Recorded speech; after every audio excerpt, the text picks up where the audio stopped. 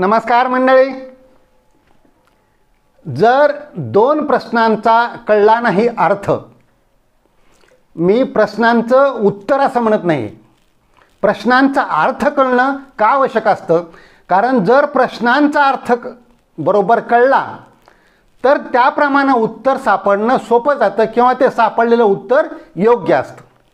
म्हणून अगोदर जर योग्य उत्तर यायचं असेल करेक्ट आन्सर यायचा असेल तर अगोदर त्या प्रश्नाचा अर्थ कळला पाहिजे. म्हणून जर कळला नाही त्या प्रश्नाचा अर्थ या दोन प्रश्नांचा तर जगणे होईल व्यर्थ. म्हणजे हे कोणते आहेत दोन प्रश्न? त्याचा हे प्रश्न कशासाठी आहेत? की जगण्याचा उद्देश किंवा आपलं जगणं कधी अर्थपूर्ण होईल किंवा कधी सार्थक होईल असं आपल्याला आपण वाटेल की जीवन आपलं सार्थक झालं. तसं हे महत्त्वाचं की कोणते दोन प्रश्न आहेत हे प्रश्नाचं उत्तर सगळ्यात महत्त्वाचं म्हणजे फक्त एका एका वाक्यात आहे. आणि ते आपण आज पाहणार आहोत की असे दोन प्रश्न ज्याचा कळला जर अर्थ तर नाहीतर नाही कळला अर्थ तर जीवन होईल व्यर्थ. तर या पु पुढे सरकार जाण्याच्या पूर्वी मी एक विनंती करेन की जर आजपर्यंत डॉक्टर राम जावळे हे चॅनल सबस्क्राईब केलं नसाल तर प्लीज सबस्क्राईब करा. आता पहिला प्रश्न की what is the purpose of life आता याचं एका वाक्यात उत्तर काय आहे? The life of purpose is the purpose of life म्हणजे मराठीमधून काय? की तुमच्या जगण्याचा उद्देश काय? आपल्याला बऱ्याच वेळा प्रश्न पडतो. मला जगण्याला अर्थ काय? मी कशासाठी जगतोय? काय आहे उद्देश आपल्या ह्या? आपल्याला हे आयुष्य मिळालं आहे याचा आपल्याला उद्देश काय असावा? असा बऱ्याच वेळेला प्रश्न पडतो. तर त्याचं उत्तर कसं आहे? बघा एका ज्ञानी व्यक्तीला खूप ज्ञानी महान असलेल्या थोर व्यक्तीला विचारण्यात आलं की सर्वसामान्य माणसांना खूप पुस्तकं वाचणं शक्य नाही खूप ग्रंथ वाचणं शक्य नाही. त्यांच्या दररोजच्या दैनंदिनीमध्ये ते परेशान असतात व्यस्त असतात. खायची पोटाची हाताची तोंडाची म्हणतो आपण ती बरोबरी करावी लागते त्यांना. त्याच्यातच वेळ जातो. ग्रस्त आश्रम असतात संसाराचं बघावं लागतं. तर तुम्ही आम्हाला थोडक्यात सांगा समजेल अशा भाषेत सांगा की आम्ही आयुष्यामध्ये काय करावं? म्हणजे आपण समजता येईल किंवा आमचं जीवन सार्थक झालं किंवा आमच्या जगण्याला अर्थ आला. त्यांनी खूप छान उत्तर दिलं. दोनच मिनटामध्ये त्यांनी उत्तर दिलं. त्यांनी सांगितलं की बघा पहिल दोनच गोष्टी लक्षात ठेवा म्हणले त्यांनी. की पहिलं एक लक्षात ठेवा की असं काम करावं. काय करावं म्हणून विचारलात ना? असं काम करावं की ज्यानं ज्याच्यातून स्वतःचा तर फायदा आहेच आहे. स्वतःचं भलं आहे स्वतःचं कल्याण आहे स्वतःचं चांगलं होणार आहे.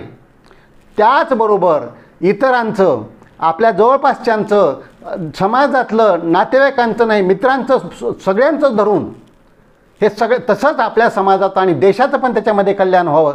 असं जर होत असेल जर त्यांचंही भलं त्याच्यामध्ये होत असेल तर ते काम चांगलं आहे असं समजा आणि ते उद्देश धरा त्या उद्देशानं चला.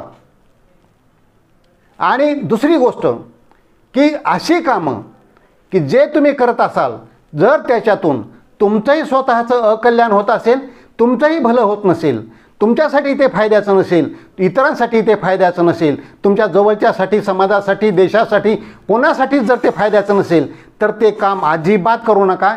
त्या दृष्टीनं उद्दिष्ट राखू नका त्या दृष्टीनं उद्देश ठेवू नका.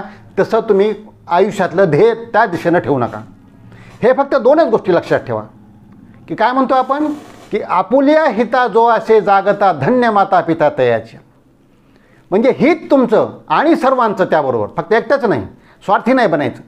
तर या ग्राउंडवर आपलं जर ध्येय ठरवायचं असेल तर मी एकच सांगेन की याच्यातले जे गुंडे आहेत किंवा जी गुरुकिल्ले आहे तर हे ध्येय ठरवताना ग्राउंड पाहिजे. हे आत्ता जे आपण म्हटलो की आपलं हित आणि इतरांचं हित कल्याण सगळ्यांचं हे असावं आणि ते ध्येय निवडताना एक कुठला विषय मग निवडावा? कारण अशा एक विषयात बरेच विषय निघतील. तर कुठला विषय निवडावा? तर ज्याच्यामध्ये तुम्हाला आवड आहे ज्याच्यामध्ये तुम्ही तहानभूक विसरता जे करणं म्हणजे तुम्ही आनंदानं हसत खेळत दिवसभर तुम्ही थकत नाही ज्याच्यामध्ये असा विषय निवडा की ज्याच्यामध्ये तुमची आवड तर आहेच पण त्याचं तुम्हाला ज्ञान आहे कमी असेल तर सखोल ज्ञान त्याच्यातलं घ्या. आणि तिसरा महत्त्वाचा पॉईंट आहे त्यासाठी पडेल ते कष्ट करण्याची तयारी राहू द्या. जे बघा ऑलिम्पिक जिंकणारे असतात गोल्ड मेडल जिंकणार जिंकणारे असतात त्यांचं एक तत्व असतं एक नियम असतं किंवा जेही मोठे मोठे प्रसिद्ध ज्ञानी किंवा जे गाजलेले आपण ज्यांना सेलिब्रिटीज म्हणतो त्यांनी जे कष्ट केलेलं असतं तेच कष्ट किती तास आहे म्हणे? दहा हजार तास जर त्या कामासाठी तुम्ही आयुष्याचे खर्च केलात तर त्याच्यामध्ये तुम्ही एकदम युनिक असामान्य बनू शकता. म्हणजे आता अशी उदाहरणं आहेत की दररोज ज्यांनी आठ तास ते दहा तास सलग सराव केला सलग प्रॅक्टिस केली त्या विषयामध्ये एकच विषय पकडून तर त्यांनी बघा जगामध्ये आपली नावं खूप उंच केलेली आहेत. म्हणजे कष्ट की त्यांना किती वर्ष लागली? कुणाला तीन वर्ष चार वर्ष पाच वर्ष सहा सहा वर्ष लागली. पण त्यांनी ते पिछा सोडला नाही मध्ये थकले नाहीत. काही दिवस म्हणजे बंद केलं चालू केलं असं अजिबात होऊ दिलं नाही. म्हणजे कष्ट करण्याचा हा तिसरा नियम आहे. कष्ट इज मस्ट. आपण म्हणतो ते असलं पाहिजे. पहिलं आवड त्याच्यातलं ज्ञान हे तिसरं कष्ट घ्यायचं आणि चौथं पाहिजे त्याला व्यवहारी पण आणता आला पाहिजे. कारण कसं आहे बघा तुम्ही मग अभिनय छान करत असाल कलाकार असाल कलेसाठी कला म्हणून जर करत गेलात आणि पैशा पाण्याचा विचार नाही केलात उपाशी मारायची वेळ येईल. कारण तुम्ही जर कारण कसलं सगळं सोंग करता येतं पैशाचं सोंग नाही करता येत. म्हणून तुम्ही जर फक्त कलेसाठी कला म्हणून केलात तर ते राहत नाही वाहत जातं. पाण्यामध्ये उडी पड टाकल्यानंतर किंवा उतरल्यानंतर खोल पाण्यात पडल्यानंतर तुम्हाला पोहता आलं पाहिजे त्याच्यात वाहत नाही गेलं पाहिजे. हे प्रिन्सिपल लक्षात ठेवता आलं पाहिजे. आणि आपलं जे ध्येय असतं ते ध्येय कसं बघा की जसं आपण याच्यामध्ये यात्रेमध्ये जातो आणि यात्रेमध्ये ते गोल फिरणारा एक रहाट पाळणा असतो बघा. त्याच्यामध्ये मध्ये उंच असा मोठा खांबा असतो आणि बाजूला घोडे उंट हत्ती मासे वगैरे असे बांधलेले असतात. त्याच्यावर माणसं बसतात आणि तो गोल फिरतो असतात प- पाळणा. तर त्याच्यामध्ये कसं आहे तो मधला खांब जी भूमिका करतो कारण तो जर मुख्य आधार नसेल तर हे काहीसुद्धा बाजूचं टिकणार नाही. म्हणजे तुमचे छंद म्हणा तुमच्या आवडी निवडी हे सगळं त्या बाजूच्या फिरण्यासारखं पाहिजे एक आधी आर्थिक सोर्स पाहिजे कारण तुमची जर आर्थिक परिस्थिती व्यवस्थित नसेल तर बाहेर समाजामध्ये कोणीही तुम्हाला किंमत देत नाही. म्हणून त्या जे तुम्ही कराल त्याचा व्यवहारीपणा आणता आला पाहिजे. आणि हे सगळं करताना आधी पहा की ह्याची गरज आहे का समाजाला? याची लोकांना गरज आहे का? या सगळ्या ग्राउंडवर आपलं ध्येय ठरवलं पाहिजे आणि मोठ्या मनानं मोठ्या मनानं व्हा मोठे. विचार कराल छोटे तर कसे व्हाल मोठे?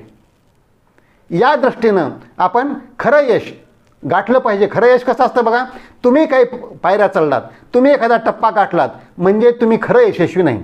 तुम्ही त्या लेवलला किती जणांना घेऊन गेला आहात? किती जणांसाठी तुम्ही प्रयत्न करत आहात? किती जणांना हुशार करत आहात? याच्यावर तुमचं खरं यश अवलंबून आहे. म्हणून विन विन पॉलिसी पकडा. म्हणजे कशी असते ही पॉलिसी तुम्ही पण फायद्यात राहा आम्ही पण फायद्यात राहू तुम्ही पण हुशार व्हा आम्ही पण हुशार होऊ आम्ही पण जिंकून तुम्ही पण जिंका. ह्याला म्हणतात विन विन पॉलिसी याच्यासाठी म्हणजे सर्वांसाठी विकास सर्वांगीण विकास. सर्वांसाठी प्रगती सर्वांगीण प्रगती. अशा दिशेनं अशा विचारानं निघालं पाहिजे. म्हणजे हे झालं पहिल्या प्रश्नाचं उत्तर. What is the purpose of life आयुष्याचा उद्देश काय? आता दुसरा प्रश्न आहे. व्हॉट इज लाईफ को जागृती? म्हणजे कोण जागा आहे? काय आयुष्यात आयुष्याचं काय म्हणजे काय आयुष्य म्हणजे आहे? व्हॉट इज लाईफ आयुष्य म्हणजे काय? तिथंही एका जगप्रसिद्ध विद्वानानं उत्तर दिलं आहे की हेल्थ इज लाईफ आहो तुम्ही जिवंतच नसाल तर काय होऊ शकणार? तुम्ही निरोगी नसाल तुम्ही आडवे पडलेले असाल लोळे पांगळे झालेले असाल तर तुमच्यानं काहीच होऊ शकत नाही. म्हणून हेल्थ इज लाईफ पहिल्यांदा. को जागृती तर अहम जागृती. मी आहे जागा. आणि इन सर्च ऑफ मिनिंग आयुष्याचा अर्थ शोधण्यासाठी पहिल्यांदा तुम्ही स्वतःचं आरोग्य आधी सांभाळलं पाहिजे. त्यातून अर्थ काढला पाहिजे सारांश काढला पाहिजे की हेल्थ इज लाईफ आरोग्य कारण सर सलामत तर पगडी पचास. आपण गेलो जग बुडाले मागे उरले काय? जनपळभर म्हणतील हाय हाय मी जाता राहील कार्य काय? त्यासाठी सर्वासाठी आरोग्य सर्वांगीण आरोग्य आपलं आरोग्य आधी सांभाळलं पाहिजे. हे सांभाळूया निरोगी राहून दीर्घायू होऊया. आजचा व्हिडिओ आवडला असेल तर प्लीज लाईक शेअर करा इतरांना पाठवा कारण आपण ठरवलेलं आहे. तुम्ही मनातून हे पाळलं पाळावं की एकच वायदा एकच कायदा सर्वांचा फायदा. आणि हे पाठवून सर्वांचा फायदा करूया. कारण आपलं आरोग्य आणि सत्यमेव जयते सर्व नात्याहून श्रेष्ठ मला हेच नाते. जय जवान जय किसान जय भारत जय इन्सान.